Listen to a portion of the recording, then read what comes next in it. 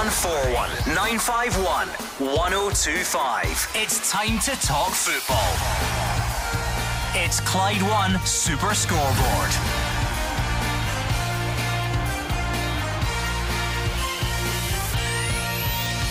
Good evening and welcome to Clyde One Super Scoreboard as we look back on a big weekend across Scottish football. Celtic will head into the Old Firm game top after beating Livingston.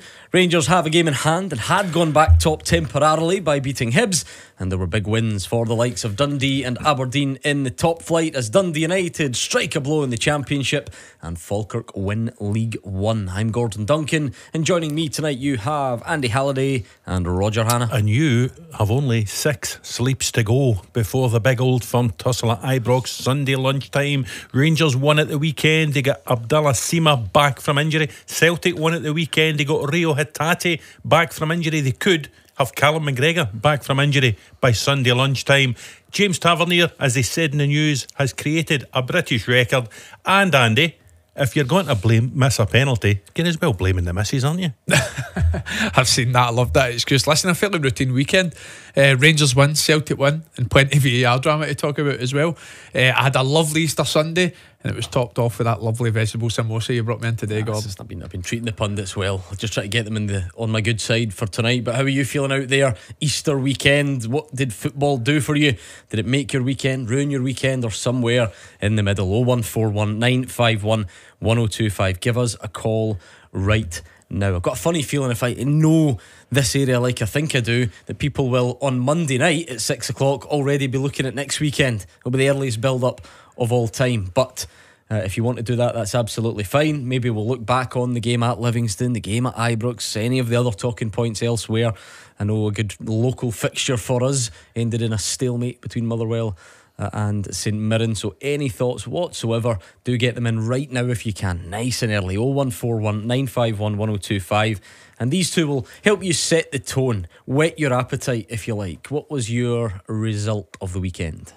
Result of the weekend, I'm going to dip into the championship. Um, top of the table clash, Dundee United against the Raith Rovers. All the pressure's on United because people expect them to come straight back into the Premiership. And for once this season, they got it right. Tony Watt and Louis Moult, two gentlemen uh, who once scored goals for your beloved Motherwell Gordon, doing the job for United. And they may be back playing against Motherwell next season. I'm going to go their neighbours. I'm going to go for Dundee. I thought it was a big game going into the uh, at the weekend for them in their, in their top six aspirations. They've obviously got that game in hand, uh, but that three points at the, at the weekend there takes them over uh, over leap. Sorry, Hibs in the in the top six for, for them for that last lot. Okay, I don't envy you tonight. Goal of the weekend. Oh. Who are you upsetting? Who are you leaving out? Well, I know who was spoiled for choice. This man, the game he was at. Were the you there? Oh, you were Very there live in person. Perth. Um, you don't need to take my word for it. Just take the word of the Dundee manager, Tony Docherty.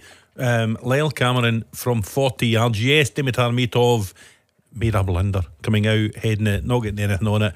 And the ball drops, you've still got to hit it first time at an angle from, I think somebody measured it 46 yards out. Beautiful finish. Tony Docherty said, Super scoreboard goal of the week. Listen, Tony Docherty. It wasn't even the best goal in the game. I'm going for Adama Sidibeh. Gordon Duncan could score for 46 yards out if it was an empty net. But I tell you what he can't Nah, do. not having that. Disrespect. He doesn't have the acrobatics to score an overhead kick in the penalty box. I tell you what, we were spoilt for choice. What a weekend it was.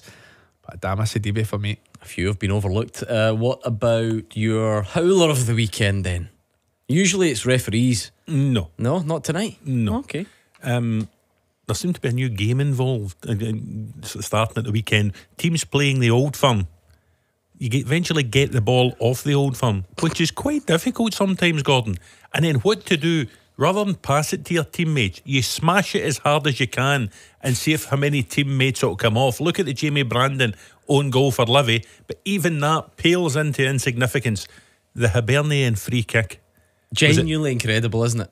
Nectar, I mean, you, you, it's a million to one chance that that could happen. Mm-hmm. Nectar Triantis hits it. He floors Joe Lewis, who needed treatment. The ball then rebounds back, hits Will Fish, and floors him as well. If you haven't seen it in social media, go now and watch it. You'll still be laughing when we're doing Beat the Pundit. Yeah, but it took me until late last night at my 520 second viewing to realise that it goes back and hits Joe Newell again. No way. No it way, does. I've not seen that either. Yes. Well, he's grounded. So it hits Joe Newell. Rebound. He's down. Uh-huh. Rebounds. Will hits Will Fish. Fish. He's down, and it goes back and hits Joe Newell when he's on the deck. Oh. Go and check it out. By the way, Joe Newell's, I'm surprised he stayed on the pitch. I know. I couldn't. I couldn't believe it. It was absolutely laced off his face for five yards. Uh, I tell you what, I, I, I'm going to be honest. I could have gave myself hell of the weekend for my part in St Munsgo. I wasn't too happy about, but Well, like, talk talk me through it. You blaming yourself, I'm, you? I'm blaming the sun and myself. I, thought, Yeah. I thought there was a I thought you and a few of your teammates maybe didn't. Maybe, but I, listen, I, I, I'd, I, I, I hold my hands up. I, accountability. I feel as if I can shuffle my feet and, and get there. See, he's a good, honest pro like that. Not not shifting the But do blame. you know who else needs accountability, Gordon? Like Aina. For Aberdeen's first goal. I've watched it three or four times and I, I've no idea how he's not kept out the net. I don't know if he was expecting a, a powerful shot from Miovski. Obviously, he's back tacking to get on the line, but he's in a great position just to. I mean, he could pass it away for the net, he could clear it, he could do whatever he wants with it. What he ended up doing was lashing it into his own top corner. It's hard to, hard to argue. I have Well, to there's been a few. But I suspect some of you out there will have some other howlers on your mind, so feel free to get them in. And finally, top man, top performer. Um, I'll go with Marley Watkins of Kilmarnock. He's playing really well. The previous game, I saw him score in that rout of St Mirren. Um, he was probably overshadowed by that David Watson goal that day. He scored a fantastic equaliser against Hearts at Tynecastle on Saturday. Led the line again really well. He is up to, I think, about a dozen goals for the season in all competitions. Playing really well.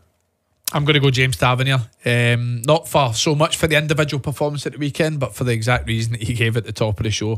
131 career goals, take him to the highest British scoring defender ever. Uh, and listen, we've talked about it so many times. When someone needs to step up to the plate, doesn't be affected by mistakes, doesn't let you know outside noise get ahead of him. He misses the penalty, dusts himself down. Four minutes later, gets the opening goal. Do you know, have you had the pleasure of meeting Mrs. Tavernier? I have indeed, yeah, Melissa. How, how, how would she take it when she saw the post match coach when he said, I've never seen that before. Well, considering she's a a, a strong Geordie, then I'm sure she's got a few choice words for him after after the game. so he blamed. He said that she told him to put They it down, down the, the middle. middle. Yeah, yeah. yeah, yeah. I also I, I seen he also blamed it on uh, his, his teeth coming out and he's been eating mashed potatoes for four days. Did you see that? Oh no, I missed that. No, he's Yeah. been no well this week apparently. Two teeth out see that. during the week. Take the penalties off him now, missed the last two.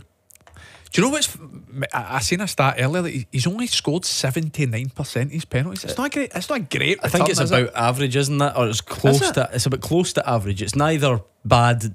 I think it's good, but it's not like outstanding. You're not talking Yeah, about. I know, but, and listen, you can actually you can kind of remember he's, he's missed a fair few, but I tell you what, it's not better than the the man's percentage that he overtook as the highest scoring defender ever. Ninety percent, I seen for Graham Alexander. Graham Alexander. That's who he Yeah. overtook, wasn't it? As Ninety Britain's percent. And of all those scoring stats, defender. how, how many? The guy who does the Hibs Twitter, did he have any of those stats? in his stuff? The Rangers get the penalty. Anyway, I will get the if the Hibs social media representative wants to call, we'll do that as well. 01419511025. How do you look back on your team's performance and result at the weekend? I suspect the more relevant question might be how does that result and performance set you up for next week? Certainly to fans um, of both big sides in Glasgow. So get your calls in right now. Stephen's in Larkhall. How are you, Stephen? Not bad after the evening panel. My point is, see the penalty kick that Tavernier took. Yes. Right, see the, the VAR decision. How, why, how, why was the penalty not retaken? Because the Hibs player encroached into the box before Stephen Wright on the telly when I was looking at it. What did the panel think about that? Uh, I mean, Roger, I think the my reading of that situation is that Scott Wright's foot is just about in. I think we can. I think. Well, I don't think there's any doubt about that. In fact, Philippe Clement admits No. it. He made a Definitely not. he made a quip about if his feet being too big. I can I can probably answer the question from Stephen. It's Adam Le Fondre the player, isn't it? Who's in the the so, arc in the D. So if the ball comes back out, Yep.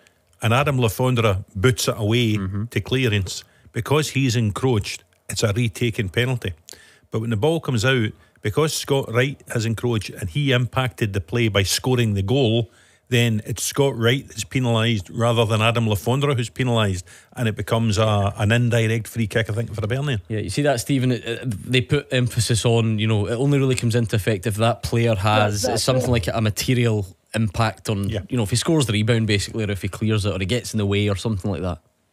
No, that's that's that's perfect. And I've just because when I was I was led to believe as soon as the, anybody encroaches in the box or the keeper moves off the line, the penalty kick should be retaken.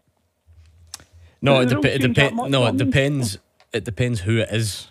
Ultimately, Roger, Right. doesn't it? It depends Yeah. what team they're on. And it, I've seen the reason I think there is more of a debate on this is because people are pointing out that you know there's a an explanation which says if there's an attacker and a defender encroaches, then the penalty should be re- should be retaken. that, that, that, that's what I was led Right. to believe. And Stevens, that's where Stevens going with this. But it's the fact that Scott Wright has the material impact on it that, that means that it's a free kick to Hibs, basically. Yeah, well, if, if, if Le Fondre and Wright had both encroached and the ball had come back and, for argument's sake, Cyril Dessers had put it in, then it would have been Yeah. retaken because he hadn't encroached and he impacted the play. But it was because one of the ones who encroached had impacted the play, then it becomes an, an indirect free kick. I thought we had a. a, a, Are you aware of all that as a player, just out of curiosity? Uh, no, to be When honest, I'm. I'm not. Uh, when you're talking about it, it kind of, you know, you kind of understand. But no, we've seen a similar instance. I remember when Rangers played Napoli in the Champions League, and I think That's it was right, the yeah. exact same. It was the It was the some person that took the rebound after Al McGregor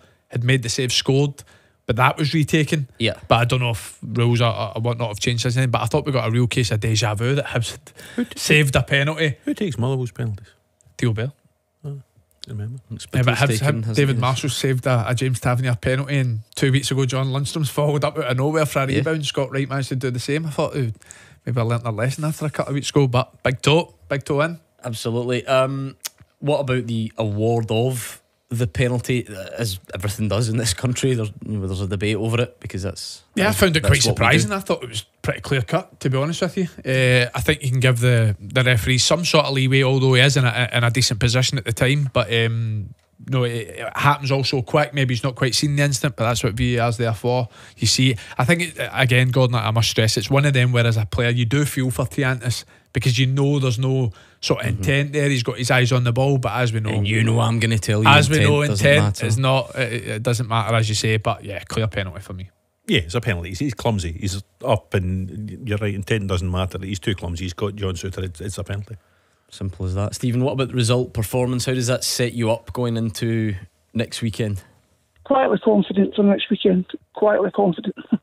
I think I I think Rangers have got the upper hand. They've, they've, they've turned the, the tables around since uh, Clements come in. So all the other fans behind them, I think we should just edge it. Hopefully.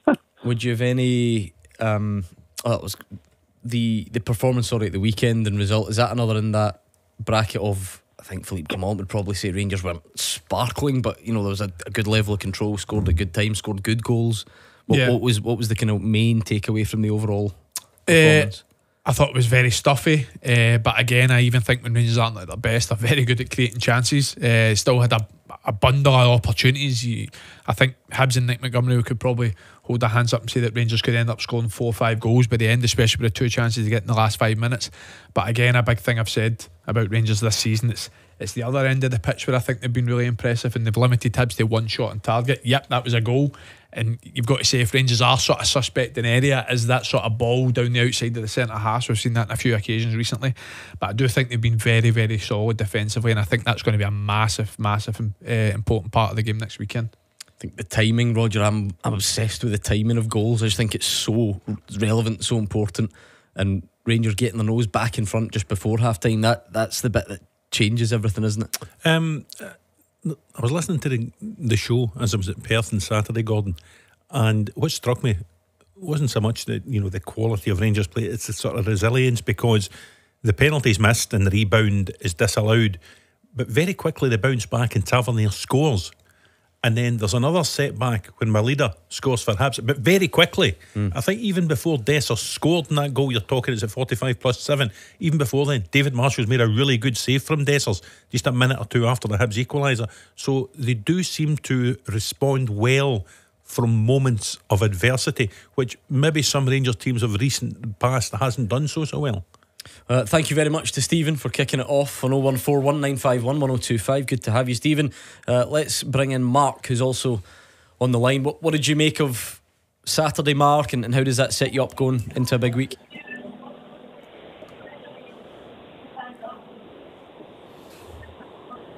Are we interrupting you, Mark? Can you hear us? Mark, it sounds like it sounds like you're enjoying some live music. Where are you? Can you hear me okay? yes. Good, good. I won't say where I am, and I'll get into trouble by my employer. right, okay, let's move on. What did you think of the performance at the weekend, and how does it set you up for performance a big at the ahead? weekend. The performance at the weekend was okay. They played well in parts and didn't play well in other parts. Uh, other points are, um, first of all, in defence of Tav, he's 79%, so he scored four out of every five penalties. And the penalties he's missed, he usually gets a rebound, so I'll defend him there. Um, in terms of this week, a couple of questions for the panel. Uh, Philippe Clement has been in the job four months. If if he goes on to win the title um, in the Scottish Cup, if he goes on, is this the best? Um, I think it is the best Rangers manager's results in our history. Um, in four months to potentially win a treble. Um, I don't know anyone in Scottish football actually that's achieved that. I know Ange did a treble in his first year, but uh, the new manager's only had one transfer window. So I'm just curious, um, and they were all loan signings. So, so that's my first question. And the second question is, I think if Rangers beat Celtic, and I do think Rangers will beat Celtic on Sunday, um, then this this this next tw- uh, ten days will determine the title. Because if they beat Celtic, they've then got Dundee and one other game in the space of a week. Um, so if they get results in these games, then surely the title is going to Ibrox. Just to get the panel's opinion. Oh, go on. Some big calls to be made by you two there. Wow, Just ne- sit neating back. it back through. Well, Ange's treble was his second season. There was a double in his first season, and I know that because I was in the departure lounge at Glasgow Airport with him when Rangers were beating Hearts in the Scottish Cup final. So it was the other way You around. go- you And I was at Hampden. Holiday together. I was at Hampden. on No, the I, he was going to Greece Hearts. and I was going to Turkey, I think, okay. as I recall. Um, so that was his double. So he did. He started with a double. If you're saying Philippe Clement can win a treble within seven months of taking the job, that would be probably the biggest impact of any newcomer to Scottish football management in history. I would agree with that point. But it, it remains a very big if, and I say that, Mark, because um, you'll probably remember the last time Rangers beat Celtic in a league game when it mattered. Filip Helander scored the goal, and it was I think it was Ange Postecoglou's first Old Firm derby at Ibrox about August September 2021. Seems a long time ago. Um, Rangers could beat Celtic on Sunday. They can beat Celtic on Sunday. I think they'll need to beat Celtic on Sunday if they're going to win this league title. I agree. I think it's listen. It's a massive fixture clearly for both teams, but I think it's imperative that Rangers win the game. I think uh, the next 14 days coming up, I think's probably the biggest 14 day period Rangers have had domestically for a long, long time. Uh, they obviously have the opportunity by next Wednesday to go five points clear. Uh, they've obviously got the Old Firm game at the weekend, and then that that game in hand against Dundee next Wednesday. But for me, listen, m- maybe I'm wrong, but I, I think Celtic would be more than happy with a point, knowing they've got another Old Firm game going to Celtic Park. Mark, how important was the return of guys like Abdallah Sima at the weekend, not played for Rangers since the 2nd of January, I think? Huge. And I would like to see Sima and Silva, both of them or one of them, get a new one year loan deals because it would suit the club in England because the guys will then be in the Champions League next year, hopefully. Um, they're both good enough, they both make the Rangers team better. So both players we could not afford to sign, either of them, permanently. But I think they're both very happy here, and I'd like to see both of them, or at least one of them, sign a new one-year deal on loan, and that's, that's a separate matter. But my question to the panel, which I, maybe I've not worded correctly, my question was: If Rangers beat Celtic on Sunday and go on to beat Dundee in the next seven days, the two games, do you believe Rangers will win the title? I believe they will if they go five points ahead by next Wednesday. Uh, purely because in the timescale we've seen since Philippe Clement came in the door, Rangers have only dropped points to Celtic at Celtic Park, a draw against Hibs, and then a defeat by the mighty Steelmen at Ibrox. So there's listen, it's been a large period of games. I don't know exactly how many, uh, but you're asking then Rangers to drop points in two more games and Celtic to be perfect from now to the end of the season. It's a huge game.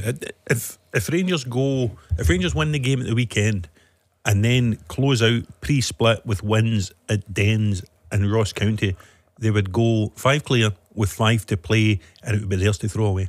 Thank you, Mark. 01419511025. What about you, Celtic fans, then? How does yesterday's performance set you up going into the weekend? We're talking about players come back. Reo Hatate was in there. How pleasing was that? What did you make of the game?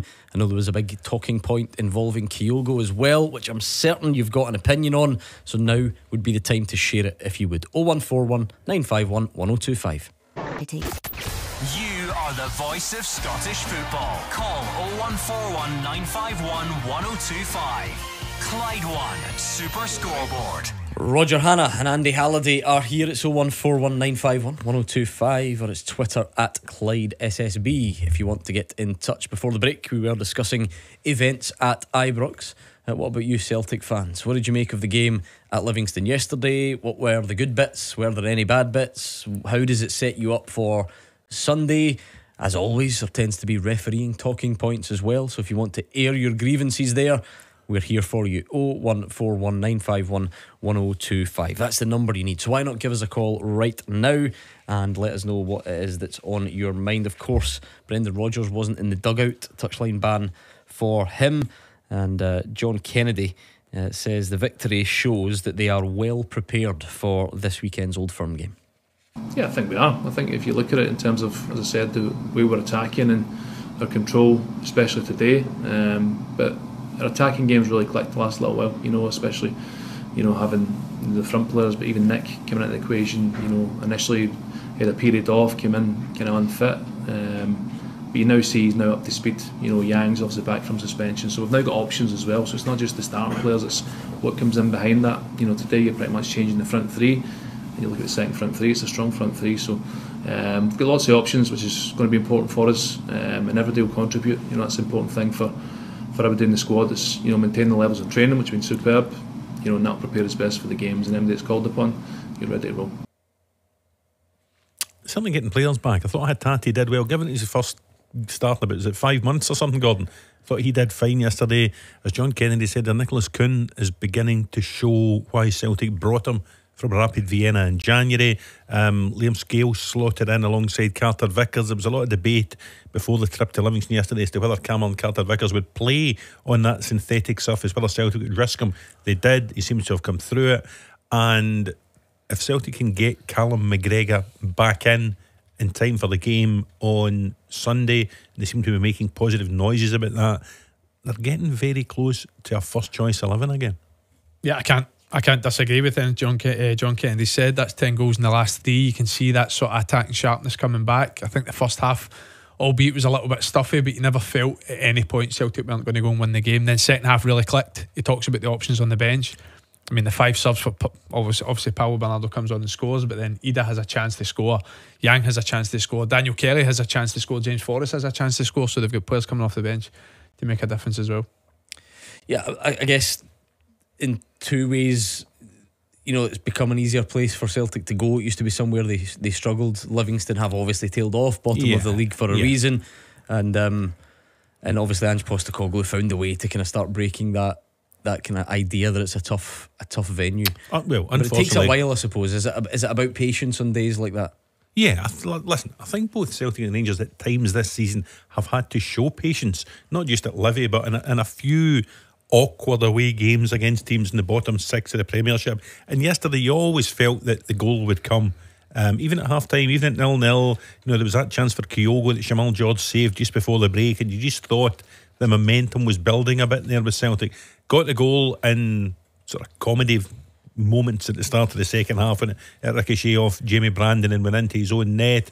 But the it was coming. And listen, they were in cruise control by Yep. the end. I think you always feel in games like that. It's always it's always going to take a moment of magic or a slice of luck. Yeah. And I think Celtic got that. They got that through constant pressure. Don't get me wrong.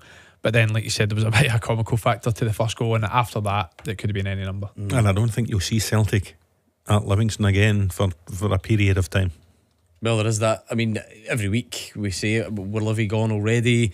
The cliche says that you're not judged in games against Celtic, but ultimately Yeah, the but- points are not really li- coming from listen, from they're, anywhere. they're 10 points adrift. I can't see where they're going to amass 10 points between now and the end of the season, the, the run of form they've been on.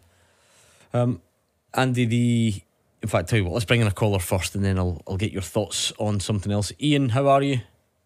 How you doing, Gordon? Uh, Roger. What did you Aye, take Ian, away didn't from the Celtic game yesterday then? Can you hear me okay? Am I echoing? Oh no, you're all That- good. okay. Two seconds, guys. Just to turn the, the radio down. It's just this, just getting fed up with this VAR. It's serial, serial cheating. And I'm, Steady, and I'm Ian. I'll defend Careful with myself. that word. Aye, no, no. But listen, it's it's getting ridiculous now. No, I, d- I get that, but what I'm saying is, remember, you don't don't accuse any individual of cheating on here unless you can oh, sort of back it. up. Unless it's Gordon oh, DL. well, Aye, apart from him. Aye, aye. Listen, Alan Muir, the man that never gave us a penalty kick against Kilmarnock, again, at it, never gave us a penalty kick against Livingston. We won the game, but I, I can define the, the moment in the game. It's possibly a red card as well because it's a goal scoring opportunity, and then we'll go to the we'll go to the what do you call it a penalty kick that Rangers got on Saturday. Never a penalty kick, and you you are saying this you do it's a penalty.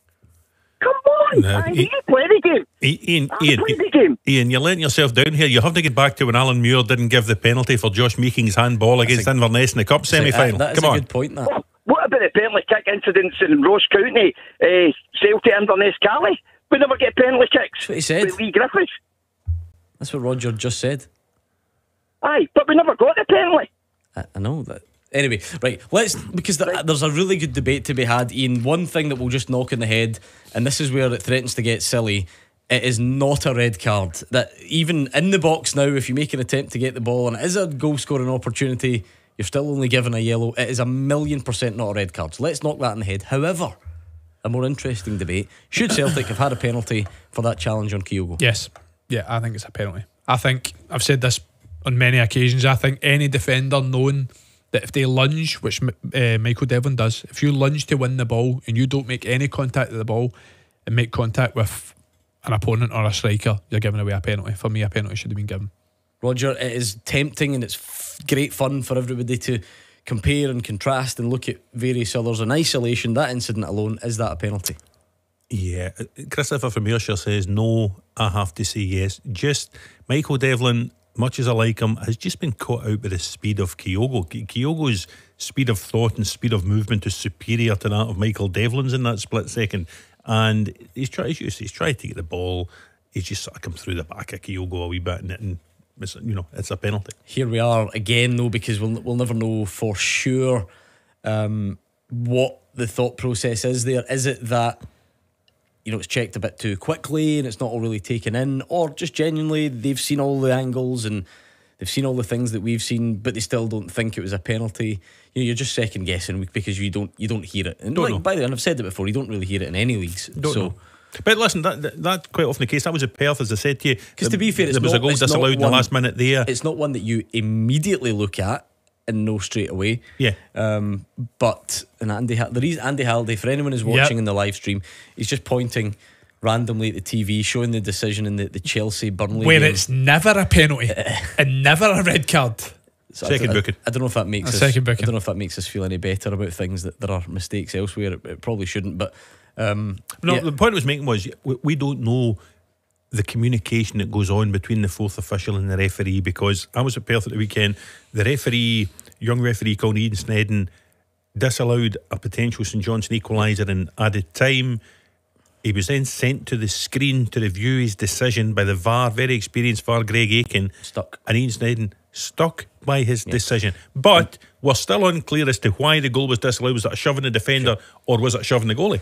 There you are, Ian. They both certainly agree with you that that should have been a, a penalty, so there's no debate to be had there. What did you make of the performance overall? Um, I thought it was a measured performance. Uh, a wee bit kind of huffing and puffing in the first half, Gordon, Andy, and uh, Roger. But I thought the second half they came out and they they done they done the job. Um, but as I say, the, the penalty kick incident, I'm not going to talk about it. I'm just saying it. It could have because I think that was in the first half, wasn't it, Yeah. guys? Yeah. Um, so I could have defined the the game. No, what I mean it's because there's a there is a title challenge on. Me personally, I think we'll go to Ibrox and turn them over. Andy, can I just correct you on something? Yes. You were you say you were you were saying about Rangers, the steel, the big steel men who you play for. You beat them, um, but Celtic beat them as well. Yes. You I- never mentioned Celtic beat them twice. No, I don't think you did. But anyway, Ian, I'll, uh, I'll, I'll go back. I'll, I'll, Ian. I, anyway, pro- I promise you I did. Ian. Ian, one for tomorrow night's show. You need to listen. We don't know the, the announcement we made tomorrow. We're talking about team news. Callum McGregor coming back, Hatate back, Sima Yeah. back for Rangers. The, the biggest talking point will be the third team, the referee and the VAR at the I weekend. can't, I believe, take, I can't believe you're bringing this up take, the night before. That I we take it you're not about. wanting Alan Muir. No, listen. I don't. I just want a level playing field, go- uh, Roger. I just want. I don't want. I, want the, the game refereed properly, and if there's a decision, Who's the best then, Rangers. Ian? Who's the be- Who's your favourite ref? Who do you want if you could choose? I, I, I'm going to tell you something. I would. I would appoint Nick Walsh. Yeah, you asked for a name and you gave me one. I don't There think it's go. a bad shout. You might get your wish anyway. 014 Will he call him as VAR? 102. Oh, we've had What- that what could combination possibly before. go wrong? Uh, 01419511025. That is the number uh, that you need. What did you make of Reo Hatate being back? Again, pretty similar to what Roger says. I thought he had a good game. We've seen Reo Hatate- Hatate have a, a lot better games, but I think even for the first five minutes, you can just see his power. He's industrious. The difference he makes. A big thing I've said about Hatate that I'll say again is I don't think Celtic have another Hatate in the squad.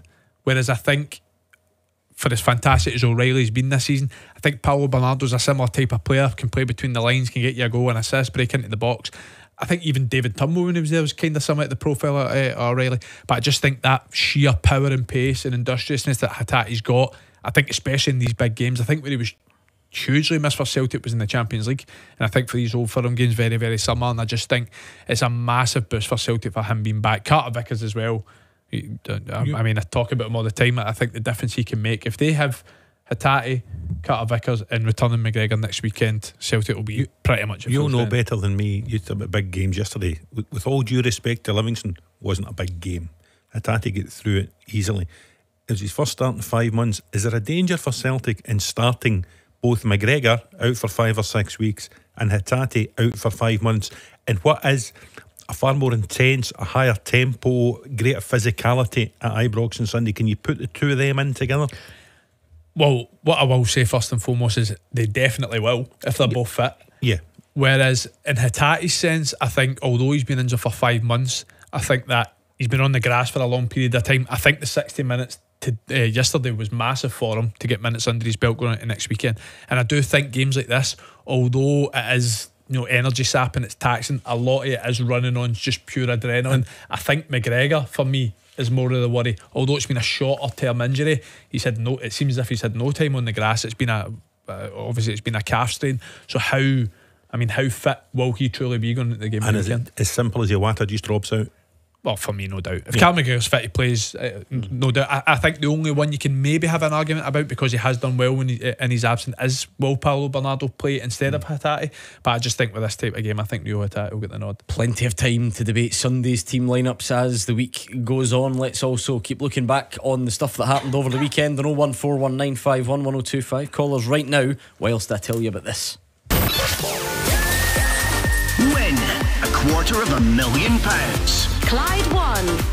You did hear that right. What a prize we have for you right now. It is a quarter of a million pounds. One person is guaranteed to win the lot when Tyler West makes that call. And if it is you, it goes straight into your bank account within the hour. I can just imagine the constant refreshing of your banking app. Unless you're Hugh Keevins, you'd need to just stand in branch and just constantly shout over and see if it's been deposited. Hughes had a very difficult few days financially. He has, he has. Hopefully, he's recovering now. But we wouldn't want you to miss out on that chance. So enter now, and we could pay you that quarter of a million if you text yes to six one zero two five. Two pound to text plus your standard network rate. Enter on the website if you want online entry. Two pounds or call zero three three zero. 880-4523 and the calls are charged at a standard rate. It is over 18s only and all the rules for this network competition are online. The lines close at 3pm next Friday. There's no phrase or amount to remember. You don't have to pick up within five rings. This is the easiest of the lot. Just answer your phone and the quarter of a million is yours. 0141 951 1025. This is Scottish football's league leader, Clyde One Super Scoreboard. Roger Hannah, Andy Halliday, both here, both waiting for you to get in touch on 0141951 1025. We were looking back on events in Livingston yesterday. Let's bring in Phil and see what he took from it. Phil, Hi. How's it going? You all right? Hi, Phil. All right, Andy. How you doing, Phil? Uh, aye, fine. No, I just, uh, I, I was trying to make an point earlier on to the boy I phoned earlier on. It was just, the, the Rangers fans are, are, are splitting hairs with us. See if you look at the VAR decision, I know you were talking about uh, the game yesterday at Livingston, but I'll go into that after. See if you look at see if you look at VAR and you've got to take it the rules because I'm not a fan of VAR. I hate it. I don't like it. I think it's to the goodness out of football, if you ask me. But anyway, see if you look at the see if you look at the, the decision. It, it's the boy right's got white boots on, and the Hibs player I can't remember the boy's name. He's got black boots on, so all you can see is a white boot in the penalty spot. So I don't know what the Rangers fans are going on, but you've got to take the rules, and that's it. Now, speaking of splitting hairs, I think it, I thought it was a blue boot that Scott Wright had No, on. But a anyway, right, No, I, it's I a don't, I'm, white I'm. I'm colourblind, so I'm probably the last person to. Anyway. Um, sorry, to be fair, I do think the debate, if there is one, is more about Adam Le Fondre, who's in the D, rather than the person who's alongside Scott Wright. But I think you've both, we can go over it again if you want, but you've both said, yes, it's a bit confusing, and yes, we're think- talking well, centimetres, but you, I th- I you think both they've got the think it's the decision right, right. decision in the end. Because again, and, a few and- people. and let's hope we don't have another one of these on Sunday afternoon. No, we will. Well, listen, bound There'll to be, happen there'll be something to point. debate about, won't there? Um, what did you take away from the, the Celtic game then, Phil? sorry, uh, sorry. What did you take away from the Celtic game yesterday? The Celtic game, I, I thought Celtic were all right. I thought they were a bit more structured. They had been in the last few weeks, but there's still there's still something. I know Callum McGregor's no there, but there's still something missing in the midfield. I feel for Celtic. S- Somebody like Scott Brown or something. Do you know what I mean? It- Which they could have had. Uh, I don't know why they don't sign a player on that, that level. You know what I mean? Because I don't think there's any punch. I don't think there's any dig. You know what I mean? See, when I well, I was about to ask what does Phil mean, and he then read my mind. Punch and dig. I always wonder about those things. I'm sure they're admirable, but we didn't really hear last season. You know, if Iwata, um, Iwata, M- McGregor, Hatate, O'Reilly. See, when they're all firing and Well, ticking, aye, yes, aye. maybe, maybe when you get into Europe, we hear it a bit more often. I don't know. Do, even the top teams now, do they all? Do they all have someone that you would immediately describe as dig as being like their, their number one quality? Um, listen, I know what Phil means. There's something missing in the Celtic midfield, and it's Callum McGregor because he's not there and he's arguably Celtic's best player. Um, in terms of the, the dig and what have you, you look at some of the big teams, you know, you watch Manchester City. Rodri always plays in there and he's not going and smashing into people, but he's got that little bit of Don't mm-hmm. menace is the right word. You know, he, he's different to De Bruyne, if you know what I mean. You look at Arsenal when they play the big games, Jorginho's in there, and Declan Rice moves on one, if you like. Even Liverpool, you watched them earlier yesterday. The lad Endo is, is the one who sort of sits and while the others go and play. So they all do have that type of player. Celtic have that type of player. It's Callum McGregor. He is different from Scott Brown, of course he is, but uh, that you know he's, he's Celtic's number six, and they're not as effective or efficient when he's not there. Listen, I'm- I'm not going to put words in Phil's mouth, but uh, and, and when he means dig, I don't know if he means maybe pace and power, which I think when it comes to the bigger games, That's what I mean. I did for admit me that Europe is- yeah. Well, hear for me, lot. that's that is where you, you know the extra legs in midfield makes a huge difference, and that's why I think Reo Hatate's been a massive miss when it comes to uh, the European games. I actually think, listen, I, I don't, I've not watched Celtic the last few weeks as much as maybe Phil has. I, I think Iwata has been pretty good out of possession since he's uh, since he's came in for Cam McGregor. But what he doesn't have is Cam McGregor's ability on the ball to receive the ball in different kinds of areas and play forward and drive through midfield. I think that's where the biggest difference is more than being dig, shall we say. But Hatati, again, I, I'm I'm I'm guilty of repeating myself here, but I just think that industrious pace and power when it comes to a game like the old firm at the weekend when it's going to be a bit more NTN, both teams attacking, both teams trying to win the game. I do think his extra legs in midfield make a, a huge difference. So you, how how does the weekend there, the Livingston game, set you up for the Rangers game, Phil? Me, I think we're going to win. So the lack of dig that you think's there in midfield I won't be too I- evident. Obviously, obviously, I, I'm not. I'm just talking in general about the Yeah. Celtic team, but I think that if we get Callum McGregor back, I think they could win the game. I really do. We'll find out in the not too distant future. We'll Thank you to Phil. we'll find 101419511025. Here's what, uh, and again, to remind you, it was John Kennedy, not Brendan Rodgers. There was a, a ban for Brendan Rodgers. He will be back in the dugout this week, just in case MD missed that. Last, I know it was a quiet story that just slipped under the radar, um, but this is what he had to say about the return of Reo Hatate. Yeah, and he has been in training. That's you know pretty much why the gaffer thought you know get him in the team quickly because he's he's been terrific the last few weeks. He came back in in good condition, worked really hard. It was time to unleash him, and I think you can see what, what he brings to the team. And it's, uh, we're in good shape going into the, the run in.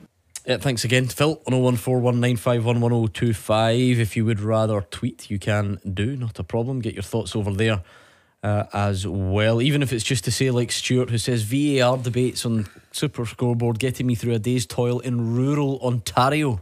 And he appears to be like nice. chopping down trees or something Lucky along man. those lines.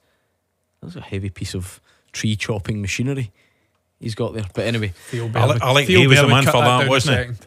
Ali Ray used to pass his time chopping down Yeah. trees. apparently he's a bit busier these days. He is busier, yeah. I just wonder if be overgrown up at his place now. Theo Bair's could volley that tree. I was going to say Canadian. What what was the stat at the In weekend? Um, Ten these last fourteen. no, he's now the highest scoring. Yeah, seen that Cana- in the, a the highest season. scoring Canadian in a single season in the Scottish Premiership. Roger, Wow. did you know that that record was up for grabs? I didn't even know there was such a thing. Probably not get a lot of a lot of competition. Hey, he over, overtook, Scott, Arfield. I aye. think you'll find at the weekend. Did Theo Bair? Uh, any other Motherwell fans who want to pick Andy Halliday's brain about anything, you can do. Uh, if you're at least just a touch nice to him, you can like mostly abuse him, but um, we'll see how we go. 01419511025 is that number. Remember, uh, if you want to get your thoughts in, I think we're probably we're going to squeeze uh, one more in before the break. I think we are. I think we're going to try and line Graham up in the not too distant future. Um, I feel like the technology is going to be a wee bit slow in front of me. You know that way, like bank holiday, just everybody taking the pace down a wee bit. Yeah. You were you toiling? Were you grafting away at the Scottish Sun, or Oh, do you just dress like that in your No, spare no, time? no, no. Th- th- Every day's a day for the newspapers. Yeah, I can imagine. Always a new fresh paper tomorrow. Okay, um, Graham is on the line. How are you, Graham? No bad, Gordon. How you doing? Not bad. What's your point tonight? My point is to the panel. Good evening. Um, Hi, Graham. How you doing, Graham? I'm a Rangers, I'm a Rangers fan here, but I sound maybe sound a wee bit cheeky to the other side here. But when Rangers got a penalty on Sunday, who's going to take it? Oh, Graham, listen. If I had said that, or if a Celtic caller had said that, everybody would be up in arms. You've gone and introduced that. What are you trying to say? It's nailed on, isn't it? What, what? I I wouldn't. I wouldn't dream of offering my opinion on that only, subject. There's only two people to ask this. One is the Hibs Twitter admin, and the other is Mrs. Tavernier. I mean, last time I checked, both Celtic and Rangers had earned quite a lot of penalties this season in the league. So maybe, maybe both will get one.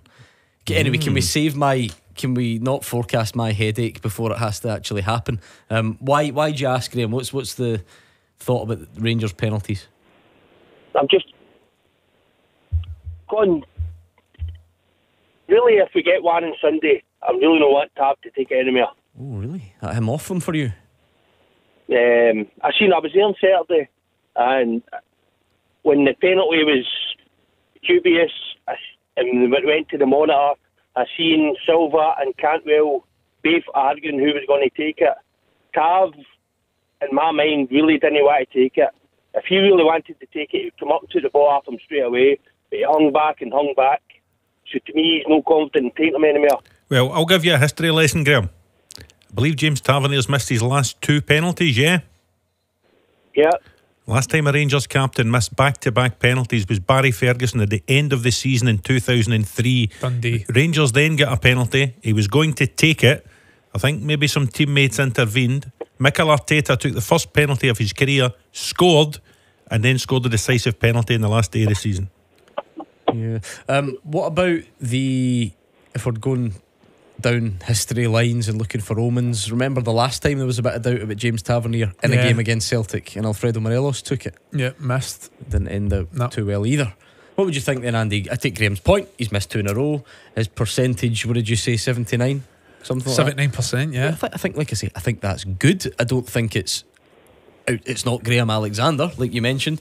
Um, is it is it even close to time to take it? I just can't imagine that it would that it would happen, but I'm not basing it on much. Yeah, I think if James Tavernier came off penalties, it's because James Tavernier's decided to come off penalties. I think if if if he said, you know what, manager, I don't feel confident taking the penalties anymore, then he'll be taken off it. But I think the, the team, the staff have got full trust in him. He's took so many pe- big penalties, I would say. A lot of penalties in Europe and big occasions. And uh, I, yeah, for me, it's not time just now. The question I would ask Graham back is if James Tavernier doesn't take it, who takes it? Well, you've got to look to the likes of Silva, or I would even throw the hat into Dessers. I don't think Todd Cantwell's a penalty taker. What makes you think Dessers is? And I, I'm not saying he's not, by the way, for, before anyone thinks Scored for Nigeria. Right, okay, there you are. Is that it, Graham? Are we basing it on his recent international action? I'll go with Roger. He knows best. that makes me think Graham didn't have a reason before you said that. But anyway, thank you very much to Graham. An interesting thought ahead of the weekend. And if you think that's a big game, it does not compare to this.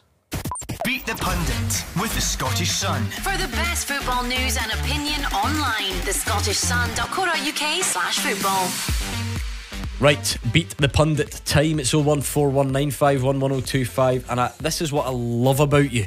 You're so ambitious, full of hope, full of belief. Everybody knows Roger Hannah and Andy Halliday are very good at this, but still on a Monday, you want to try and take them down, and I love it. So 01419511025 before 7 o'clock, and your chance to beat the pundit, isn't it? Tackle the headlines. 0141 951 1025. Clyde One Super Scoreboard. Andy Halliday and Roger Hannah are here at 01419511025, or you can tweet at Clyde SSB. In the first hour, we were looking back on the main talking points from the weekend. Was Scott right inside the box? What colour of boots did he have on?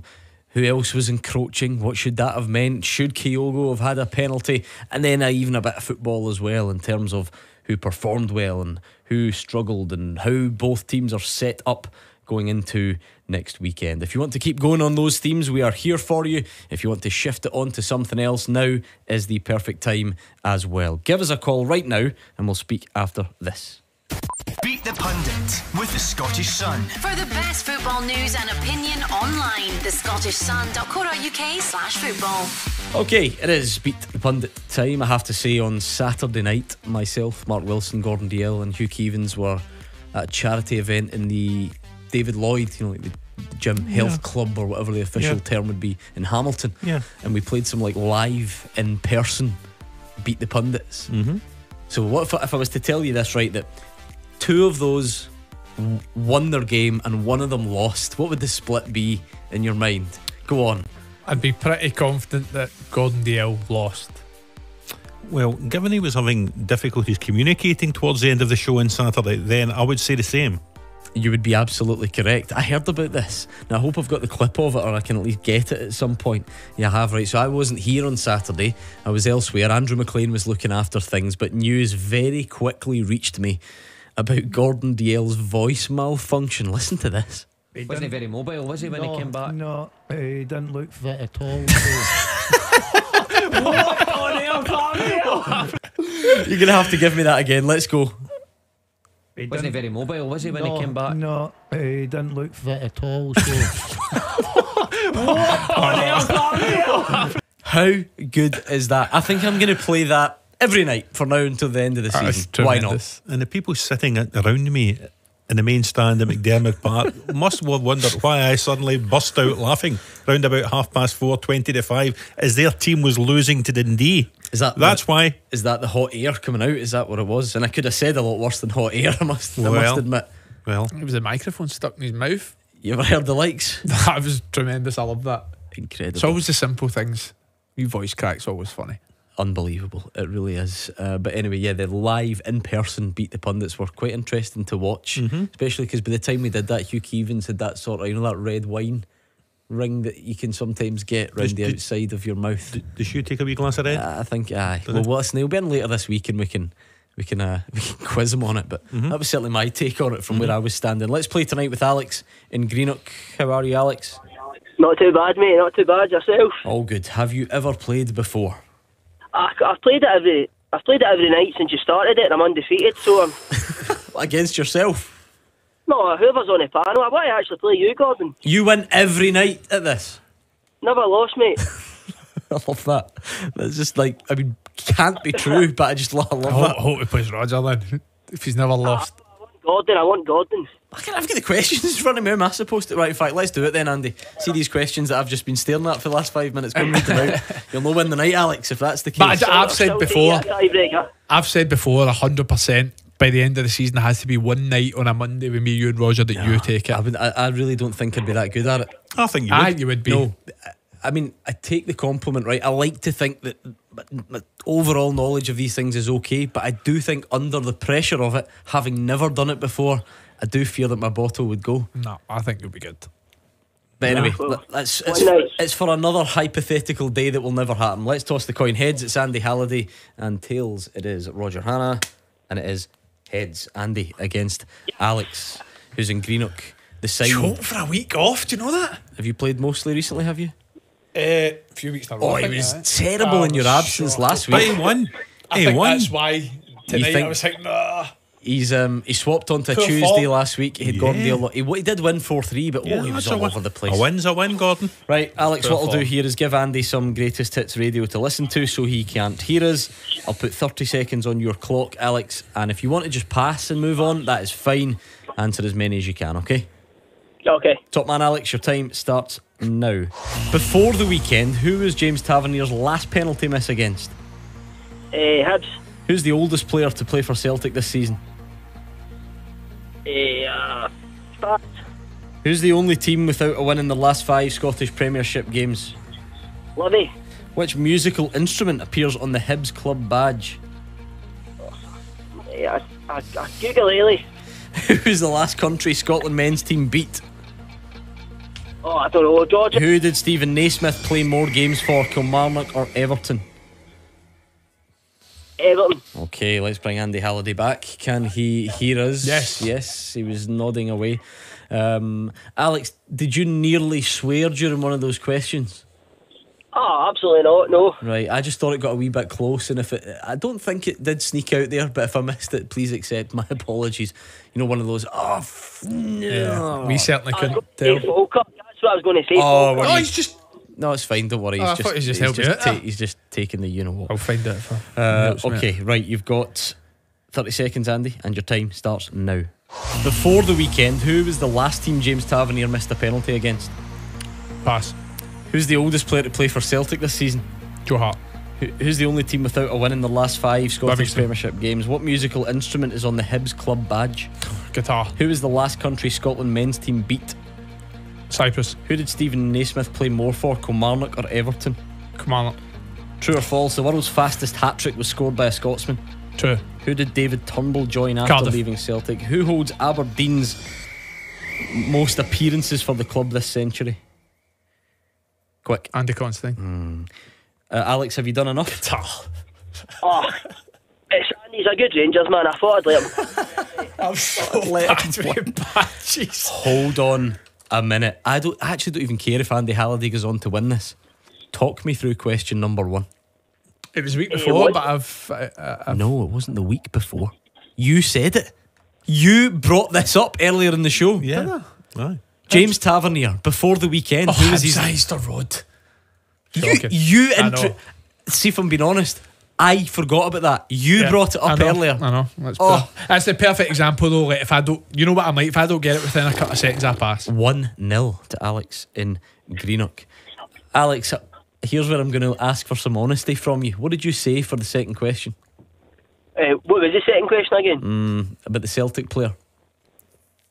Oh, I was going to say Joe Hart, but I totally forgot. Oh, see, good honesty from him because I thought he said Hart. And they, I was about to give you Alex. Quick, lie to me. Tell me you said Hart. I did. Aye, Joe Hart. He's the most convincing liar since No Gordon wonder he's Dalziel. undefeated. Um, aye, exactly. He gets 11 out of 10 every night by the sounds of it. Andy Halliday equalises. Uh, the only team without a win in the last five, Livy. You both got it, so it's a good game. Andy leads by one. The musical instrument, uh, Alex said on the Hibs badge, Andy said, uh, Al- sorry, Alex said a ukulele. Andy said a guitar. You're both right, they've got strings, but it's a harp. No? Honestly, man. Never stared at the opposition's badge when you've been playing? No. No idea. Okay. Uh, none of you got it. The last country Scotland men's team beat was Cyprus. Well done, Andy Halliday. Um, what about the Steven Naismith question? It Oh, was it's, Kel- it's Everton all day. It is Everton. All Did day. you go Kilmarnock? I said Kilmarnock, aye. Yeah, it is Everton. So well done to Alex who pulls one back, but Andy Halliday then stretches out in front because it was apparently Tommy Ross for Ross County, 1964. Roger Hannah, the fastest hat trick. Oh, I couldn't have told you that. I thought it was Robbie Fowler. Mm, 70 seconds according to these records. Ah, right, okay. Okay. Uh, and David Turnbull joined Cardiff after Celtic. So it was a, a 6 3 really for Andy. If we give Alex his, his lie, it was a 6 4. What was the next one? Did I get it wrong? Oh, sorry, you got Andy Considine as well. I was right. Well done. Sorry, as I didn't even notice we got that far. Uh, hard lines, Alex. Your your win, your hundred percent winning record comes to an end live on air. Who'd have thought it? No point in crying it's over, just smile it happened. I like Alex. Ah, good game though, Alex. Good way of putting it, Alex. Well done. What did you take away from the, the weekend's football, Alex, taking into this week? I still think they play far too slow, to be honest. Um, I, I, get it. It's a high block, it's a low block team to play against. I just think we need to move the ball faster in midfield. Uh, and, and we'll see if we can do that on Sunday. If we can do that, I think we'll be laughing, win the midfield battle and, and pull ahead of them, a game in hand. See, this is why guys like Alex have got a much more sophisticated tactical mind than mine. Because I said I was at Ibrox working at the weekend, I didn't think Hibs were particularly low blocky, uh, and I thought it, actually it was it was quite enjoyable. It was quite it was quite open at times. Hibs have got good players, Roger. They try and play out. We know, we know we're over that, and yes, it can be their undoing a bit, and maybe they don't quite have the players to always pull it off. But there was a kind of openness a bit about it at times. Yeah, I think there's a kind of imbalance to the Hibs side. They do have good players, but the majority of them are in forward areas. So it's great if you can beat the press and get the ball forward to the good players, as they did when they equalised through through Maolida's goal. Um, but it, this is going to be a different game for Rangers, and it's going to be a different game for Celtic because Celtic won't come in with any type of low block. They'll try and play the way they normally do, which not many teams do at Ibrox. So that should give Rangers a bit more space. The flip side of that, of course, is that, you know, Celtic will carry more of a threat going forward than Rangers are used to facing at Ibrox. So I think it'll be a, fascinating game as it always is. Yeah, listen, I think it's a very, very difficult one to predict. I think if you asked me a month ago, I'd probably give the, the edge to Rangers. But like I touched on, I think Celtic's attacking threat has returned and, and been very good recently. But also, more importantly, the three guys they've potentially got back in the starting 11 at the weekend as well. That being said, Rangers have got a couple of bodies back. I think the return of Abdullah Sima's big. Uh, but then that left back position where the Borna Barisic coming off injured towards the end of the game and Yilmaz getting injured in international duty. Who who gets a call there? Is it Dujon Sterling? Alex, just a quick one because we got a, a point on it before the break, and I've had another tweet. If Rangers were to get a penalty, is James Tavernier still on them, having missed those two against Hibs, like you heard and beat the pundit? Aye, I'd, I'd still keep him on it, definitely. Yeah. There was a period a couple of seasons ago, he missed a couple, in fact, no, even longer, and it was the cup final. Morelos stepped up and took it, and it was a disastrous idea to take him off it. Although he's missed a couple, you look at the long term, he's put in far more than he's missed, so definitely keep him on it, absolutely. Yeah, because the, re- Jo- uh, the reason I brought it back up again, John had tweeted to say that regarding Tavernier taking penalties, I mind watching Cantwell on Jimmy Bullard's golf channel on YouTube, and uh, he was asked about who f- takes the penalties. Straight out, he said Tavernier, and no one else is allowed. Asked if he fancied them for himself, and he did say yes. I wonder, you know, again, we don't want to like dwell on the percentage too much. We spoke about it. I wonder if the fact that a lot of the ones that he does convert are particularly good ones. Does that make sense? Does that add Yeah. to the the? i- i- Is that go in his favour in any way, or does that not matter? Potentially. I- I just think the amount of big ones he's took uh, that referred to in big European games and big pressure situations where you know, needing goals and uh, at the end of games or whatever. I just think that I I think that counts for something. I think that experience in big moments when you know it's you with the ball in the penalty spot and fifty thousand watching you. Uh, I'd be surprised, like I said, for, uh, if he came off them. Thanks to Alex. Have a good night. Nice one, lads. Cheers. I liked him. I liked his style. Yeah, Yeah. Just, just don't mind Bit that. of personality. I like that. Good. Came, I mean, spoke absolute nonsense about having never lost. It beat the pundit. No, we don't know that. Um, but I, I genuinely, yeah, I don't mind that at all. Oh, it's back that bang this week. though. That's better Yeah, than last I week. That's you for sure. Quite good. But you know, the great thing about it is, is still that you know when you do that post match analysis, still room for improvement there. That first question was a shambles, and then you Yeah, I agree. I agree. I'm interested at the start of the the show. You said you had you held your hand up. You reckon the goal Motherwell conceded at the weekend was at least partly your fault. Yeah. So Yeah, what, I think so, yeah. What does that process? Genuinely, do you say what at half time, full time today? Both half time and and today. And uh, And the actually being analysis meeting, yeah. I, I quite like that insight. So what? What? I talk- just, I- talk I- listen, I that. think it's important for anyone to have accountability as a player. Uh, if you've made a mistake, you hold your hands up, you apologise, whatever, you move on. Uh, and I think in these meetings, obviously a big part. Know, at times it is an open floor to sort of say what you think, uh, and sort of delving into it. I held my hands up and says, "No, I feel as if, no, I can judge a fight of the ball better and maybe backtrack a couple of steps." And So how did that happen in that moment? What? How do you look back on it? um, well, I just remember the sun was coming directly over the corner taker. So if you watch it, I've got my hand over the sun as he's about to take it. But when he takes it, you know, my, my hand's almost covering the ball. So just it's that the old debate with, with, with, goalkeepers when it's sunny, like wear a cap. You're but- not allowed to wear one. no, you're not allowed to wear one anymore. But um, yeah, when it uh, the time I put my hand down, I've I can't really judge a flight of the ball. Uh, I then jump I sort of standing position. Whereas if I see the flight of the ball early, I can backtrack a couple of yards because there is space to do so and then head it clear. And does everybody else just nod and say, "Yeah, that, you're right, Andy. It was your fault," or do other people say, "Ah, don't worry. I, I think I could have." It was. It was a quite a, collective it was effort? quite a yeah honest dressing room. I think a couple of people held their hands. I don't know if you've seen. You'll hate the fact that I've brought this up because he, he, he- one of the things we're saying is uh, that you hope that. You know, the build up to conceding the corner wasn't on Sportscene at the weekend because Paul McKinnon's build up to the corner he wasn't too happy with. Uh, a couple of instances as well, Well, but no, but he fundamentally, just passed it out for a corner. he passed it out for a corner, yeah. But fundamentally, I, I hold my hands up. I think I've put in a, a, a big error on that part. And Andy's a Motherwell fan on the line. You like that honesty, Andy? Quite true, yes, yes. it's true. You're right. It is. I know you weren't necessarily calling about your own team though. What, what have you got for us tonight? Well, I'm going back to Friday night's game. Uh, about Ayr United, the tackle from the Airfleet player on the Ayr United player that got Scott Brown a wee bit upset. And one of your uh, callers wanted Nicky Wells to be a referee in the Old Firm game, and I think he was a referee that night. Absolute dreadful. The boy never got sent off. That's my opinion. What about the panels? Well, you won't be surprised to hear I'm 100% with you, Andy. It was a lad, Dean McMaster. He looked surprised that he didn't get a red card for the challenge in Harry McHugh. Scott Brown was absolutely incensed by the decision. Um, am I right in thinking, Gordon, even obviously we don't have VAR in the championship, that could still be pulled up with TV evidence and it could Yeah, be a tech- yeah. retrospective red card. Technically, yes. It was a poor decision But by. I don't think it was Nick Walsh, was it? It was not David Munro. Yeah, it was a poor decision by the referee. I don't know whether he's not seen it correctly. He's not. Listen, it's a red card all day long. Um, from what it looked like, it seemed it did seem to be in a pretty good position. Andy, Yeah. you've seen that. He looks looking right at it. They don't have VAR, um, and we quite often use that as a real selling point for the championship. And we say it's great. Ah, look at this as real football, and it doesn't have VAR. None of this nonsense that we've got in the Premiership. And then maybe moments like that, you think, you know, maybe it would have, would have come in handy. So Yeah, and Scott Brown and Ayr will be happy that it never cost them a result because it, it would have played a big factor in the game. And listen, for me, it ticked every single box of a red card. Uh, I thought endangering an opponent, reckless. Um, I mean, the excessive force, which you know I'm not a huge fan of.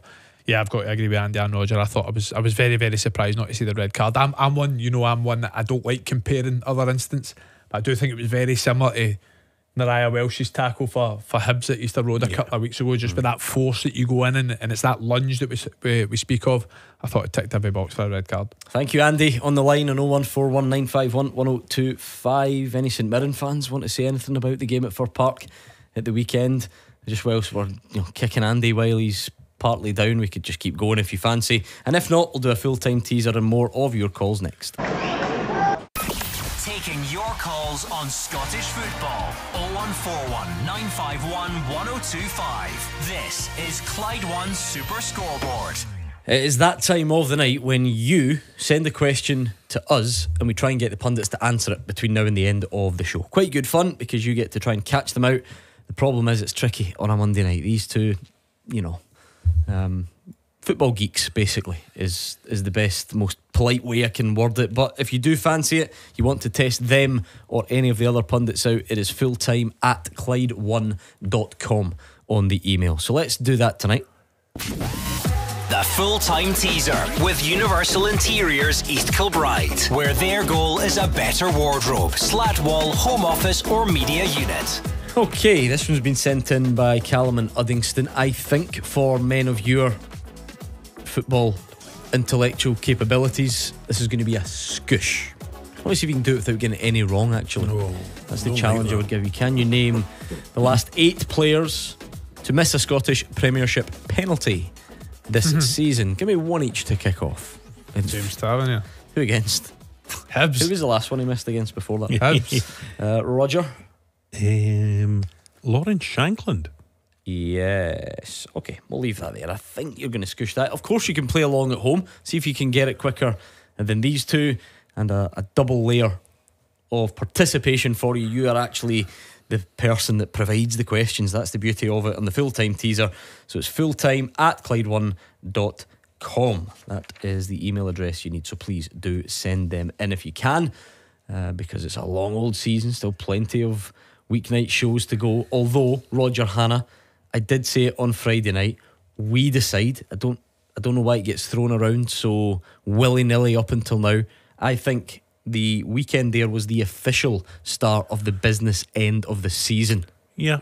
I Yeah. keep I've been hearing it for a couple a couple of months. It was I think we went too early. Well, it must be because business was done in League One with Falkirk winning the title. Exactly. Um, business may well be done in League Two this weekend if Stenhousemuir win first title in their history, and it will not be too long, I would suggest, before. I know Edinburgh City are down part of that's down to the points deduction, but it won't be too long until relegation's sorted in some divisions and the playoff picture really begins to take shape. Stenhouse, what was Stenhouse form?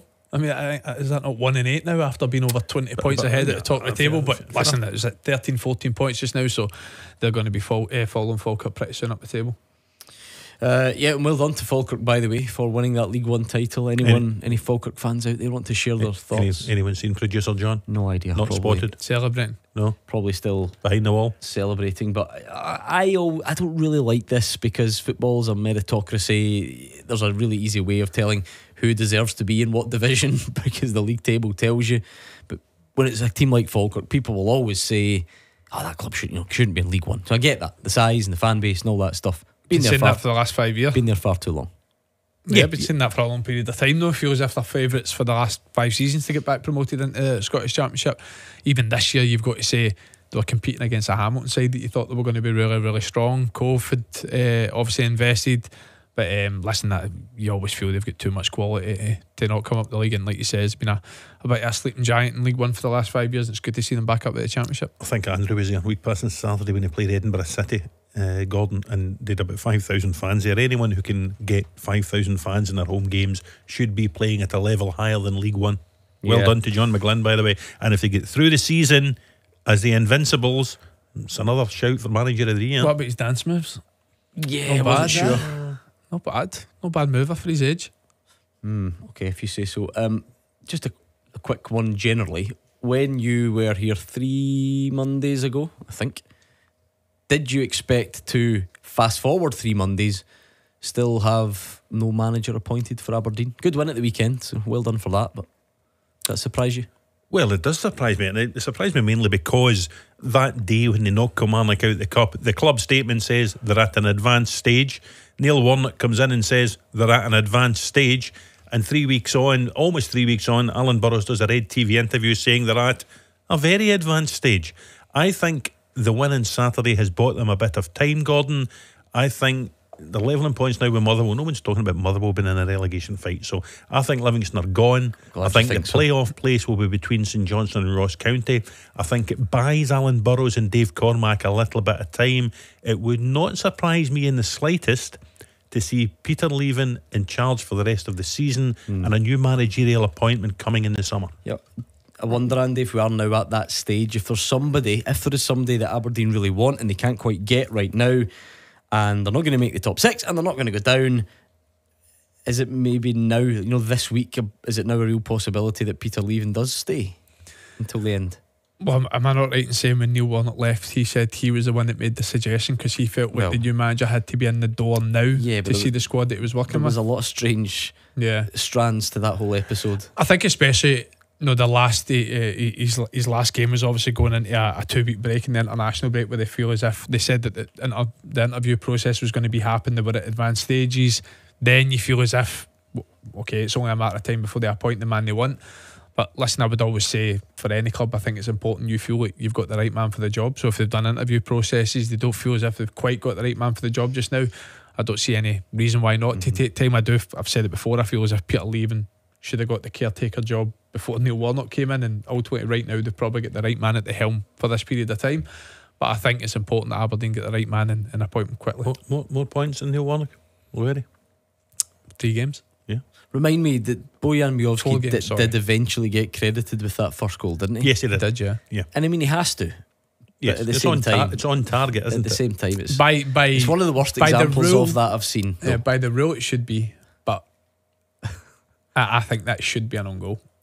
No, but by the rule, it's. You- well, I'm not a that's it. striker though. Do you know? I don't have any claim for everything. So you'd rather it just went down as an own goal? Yeah. See, that's no, No, no, I'm not saying I'd rather. I think it should be. Yeah, I mean, rules are rules, as we, we always say on here. But anyway, at Clyde SSB, if you'd rather tweet your thoughts, and you can do. And if you want to phone us, that's the traditional way. I'd much rather do that as well. So let's do that with Graham, actually, who's in Bellshill. How are you, Graham? Good evening, gents. Nice to speak to you again. How are they? Good. All good in here. How are you? Excellent, very well. Thanks, very well. What are you thinking tonight? It's actually quite an overarching point. It's not something that's That's been fine. discussed, but uh, I thought I'd bring it to the table because I know it's quite heavy in the old firm just now. But actually, what I wanted to talk about is whether we are perhaps underselling Scottish football a bit at the moment. Um, you know, I saw a meme the other day actually, and it was about uh, Wolves versus Fulham being on the Sky Sports rotunda, and they were saying, "Oh God, what's this type thing?" You know, boring dead rubber game. And if you look at it from Scottish football's perspective, it's a really exciting league. You know, we've got obviously the relegation battle is going on. Then we've got the middle bit, which is the, the top six battle. Then we've got you know fourth place for Europe, etc. Then obviously the league title. So every game in our league at the moment means something, and it's still at, at, at this point in the, in the year. There's so much still to play for, and I just think that that should be getting national coverage. I'd love to see nothing better than say after a match of the day on a Saturday night, there's then the Scottish football programme that the whole country gets to see because every game means something, and all the teams are really going for it for, for different reasons. There's so much dead rubber games now in England, you know, that I just think they're really underselling Scottish football. And somebody, somebody marketing genius needs to look at this and, and, and really sell our, our game to the country. You, you, you hear of, of, of fans travelling from all over the UK up to Scotland for games every week, but we're not really pushing that.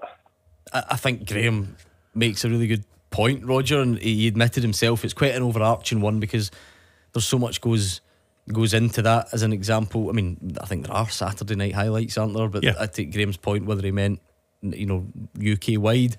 Um, I'm not entirely sure. Um, you then have the TV deal gets a lot of debate. Then the complications behind that are the fact that currently the clubs, you know, stipulate that live games can only come from the same ground four times per season, and that's Yeah. why you end up missing out on Edinburgh derbies and so on, and that's why most of Celtic and Rangers away games end up on the TV.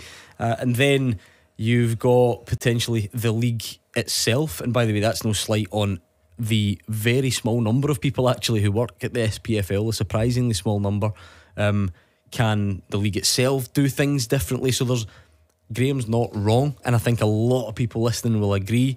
There's just so much goes into that in terms of making it effective.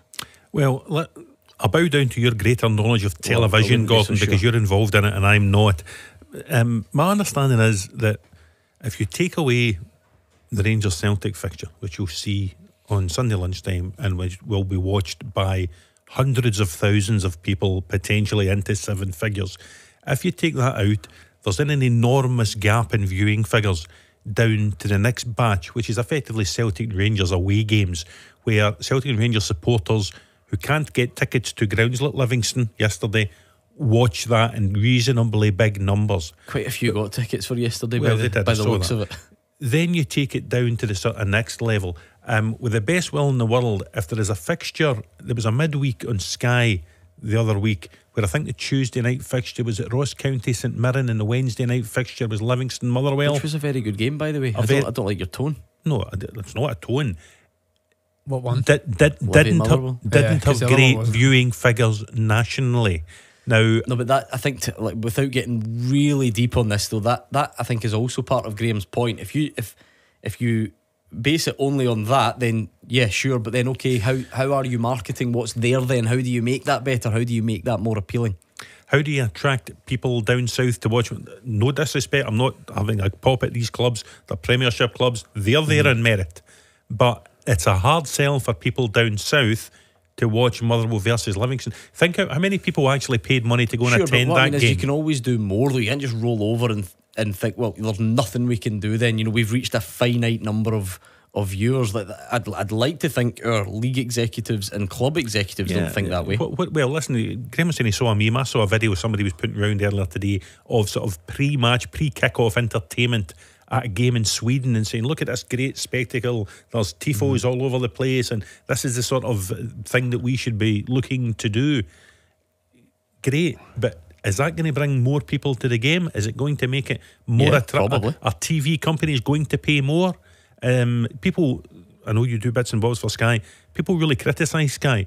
I don't criticise Sky because it's actually Sky who are putting money into Scottish football when other broadcasters are not. I think Sky should be praised. But for me, you know, it's like anything else. It's supply and demand. TV companies would pay more for it if they thought the product would attract more viewers to their TV stations. Look at the Yeah, the money. attract more viewers if the product is marketed better as well, though. well, you look at it. It sounds to me as if you're laying this at the door of the SPFL. no, no, that- no, that's what I said, So how do we market it better? How- it's it's such a combined effort. Clubs can do it. Clubs can tell their stories. The league can pull it all together and, and tell stories. I'm not saying that they don't do that at all, otherwise, you would just give up trying then, and you would just accept that this is the way it's always going to be. You just can't you can't think like that. I don't, I don't really know how to answer that, Gordon, because the clubs the clubs accept the TV Because deals that are but we're not talking purely. But this is, I think you've got. We're not talking purely just the number of people that are watching. I get that, but I think Graham's overriding point is if there's a pretty average fixture, you can make it look better than that. whereas we I'll, maybe well, don't do I'll that. give you that. But uh, if we're going to do that, then every single club in the Premiership needs to have a complete reset and rethink. You watch the elite teams in the English Premier League, Manchester City, Arsenal, one of the elite fixtures. You switch that on at the start of the programme, and the TV, the broadcaster, is down the tunnel speaking to Erling Haaland. Yes. They're speaking to Martin Odegaard. Now they get now- access all areas to these things. Um, I could phone up tomorrow and again, no disrespect to any, I'm just picking a couple of random clubs.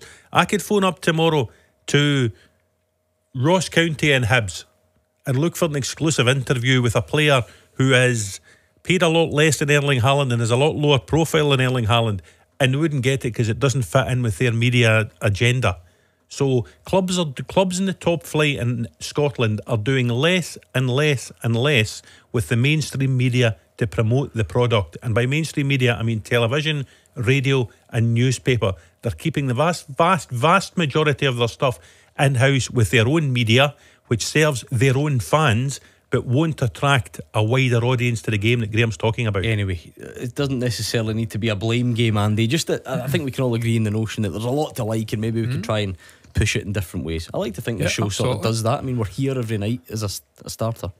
Nobody can say we're short of drama up in Scottish football, that's for sure. Uh, people might knock the quality, but they certainly can't knock the entertainment. Uh, and listen, I, I, I giggled when Roger was talking about viewing figures because I, I wonder what the viewing figures was for Arsenal Man City yesterday. One of the most boring 90 minutes of football I've watched for a long, long time. Probably since, to be honest, the Ross County Mirren game that was live on Sky over a month ago. But listen, uh, uh, you know I love our game. I love the entertainment value. I think we've got a lot of, uh, I think we've got a lot of quality that gets undermined at times.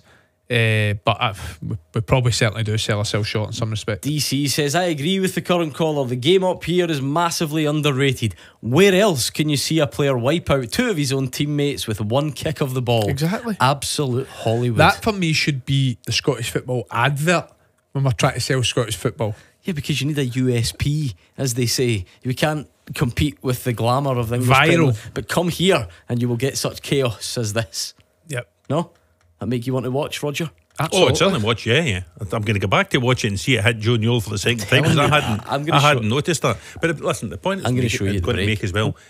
We are in geographic in, in population terms, Gordon. We're a relatively small nation, so you know we've only a, a finite number of people to actually watch football, and a lot of them will consume it. And Neil lots of us love it so much we go. well, I was going to make that point. I mean, Neil Doncaster makes the point on an annual basis. I think per capita, we are one of the bigger nations for attending football.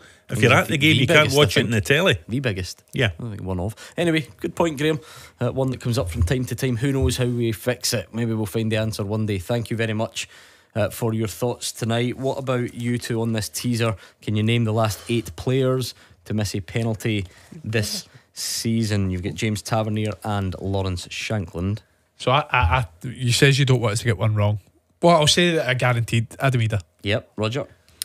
Um, is Mark O'Hara one? Oh, he is. Well done. And I'll go one more guess from you. Right, let's confer here. One of them's What's got it. nailed on? What we thinking's nailed on? Hurry I up. think- I think Silence doesn't work on radio. Luis Palma. Yes, okay. We'll get the nailed on. rest I agree with that, yep. of the answers next. Number one for football in Glasgow and the West. 0141 951 1025. Clyde One Super Scoreboard. Into the final part of tonight's Clyde One Super Scoreboard. Roger Hannah and Andy Halliday are here. They're tackling this full time teaser, which was sent in by Callum in Uddingston. Callum asked, Can you name the last eight players to miss a penalty in the Premiership this season? And you've given me James Tavernier, Adam Idah, Luis Palma, Lawrence Shankland, and Mark O'Hara. Three to get. They are about to get a bit harder, I think. What one am I more confident about? Well, I'm more confident right. about Let's, him. let's go him first. Shinnie. Yes, Andrew Shinnie of Livingston. Two to get. We'll get them before the end. If anyone's watching on the live stream, you can see these two. Roger Hannah's got the specs on. He's taking it seriously. They're both sort of showing each other their paper like you would do in school, conferring over it.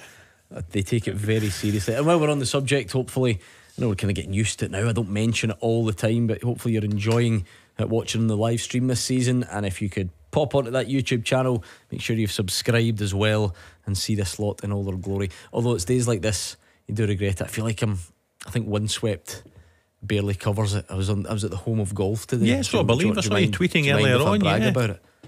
The home of golf with a, a friend of the show, more than that, Kenny Mhm. Miller up there, but we got to play it backwards. So it's like an event. I think I think they must do it like once a year, but I don't think they always have. And so apparently that's the way it was designed originally, way, way, way back. And you play it in the other order. How'd you get the ball out Does the that hole start? sense? Oh, very good. so you start on the first tee, Uh-huh. okay, and you then play towards what is now the seventeenth green. Okay? You then move the ball onto what is currently the 18th tee, and you play towards the 16th green, Oh no, no, and no, so on I'm gone already. until Yeah, you're same. until you're back round and you're on what is traditionally the second tee, but you play back up to the 18th. I'll tell you something. The good people of St Andrews have been spoiled of late. True. You and Kenny Miller today.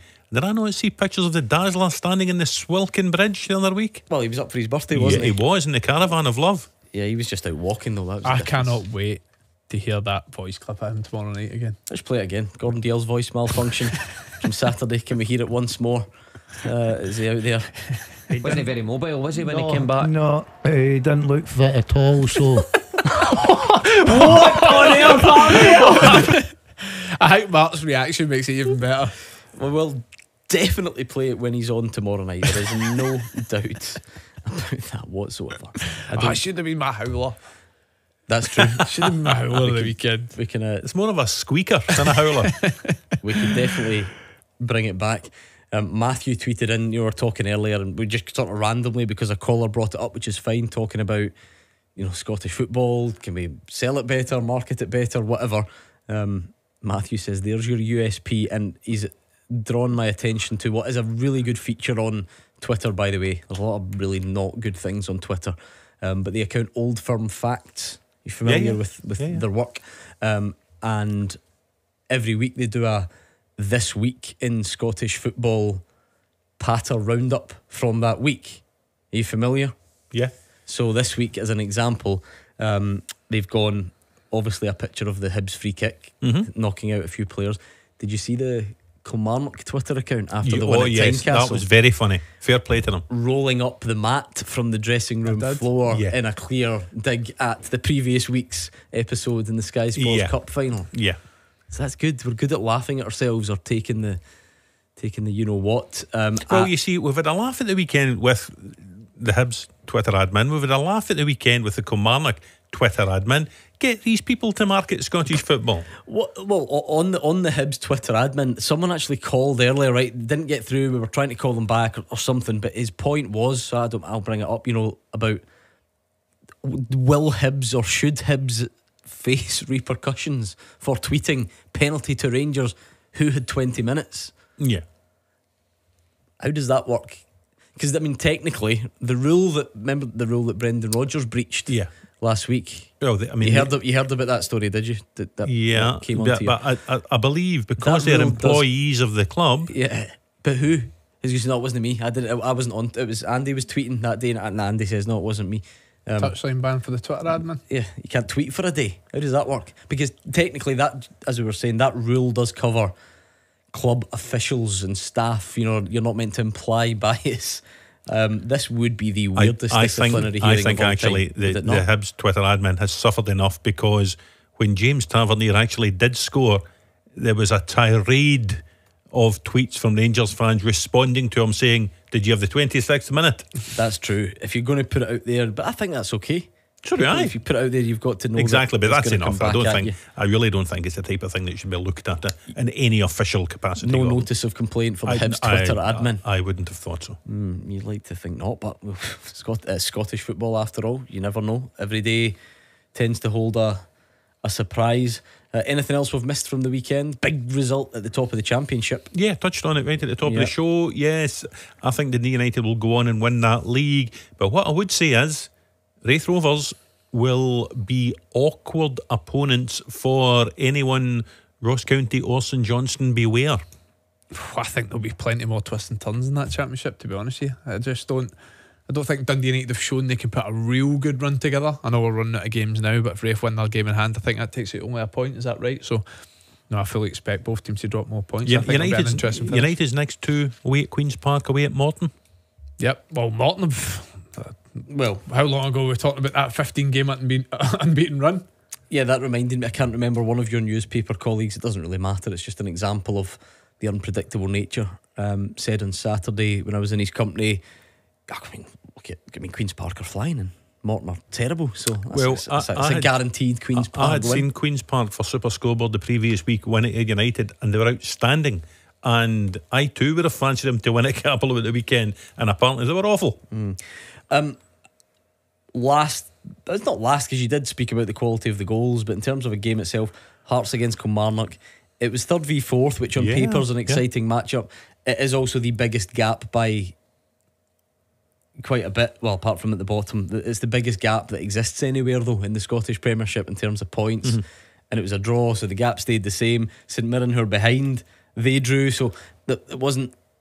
There was no huge sort of conclusion to take away. No. Very good goal, as we said, from Marley Watkins. You'd be a bold man to predict that Hearts won't finish third. Well, and I think any points any slight chance would they need the Kilmarnock win. Uh, by all accounts, it seems as if Kilmarnock slightly had the upper hand, but it didn't seem as if there was too much between the uh, the two teams. But like you said, it was two fantastic goals. I thought for two different reasons. I thought Lon Shankland's uh, chip ball for Kenneth Vargas, his first uh, is obviously a permanent Hearts player. Uh, was you know the opposite. It's usually Kenneth Vargas as a supplier for for Lon Shankland, but then obviously.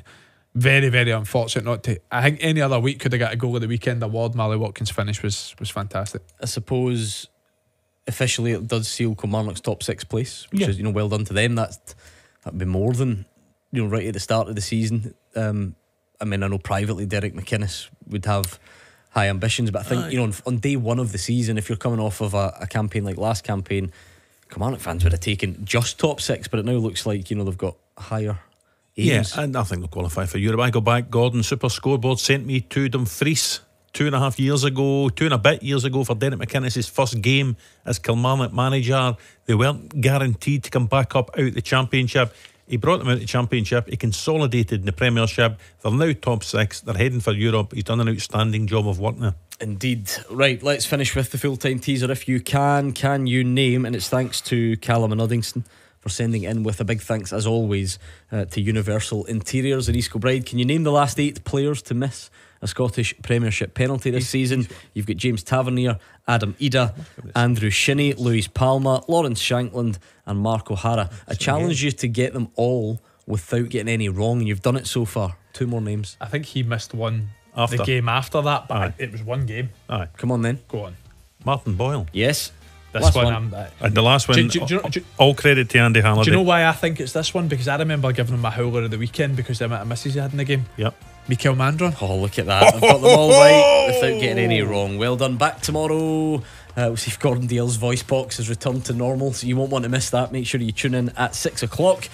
And Lynn is in for Callum. She's up next. Enjoy the rest of your Monday evening, and uh, we'll speak to you tomorrow.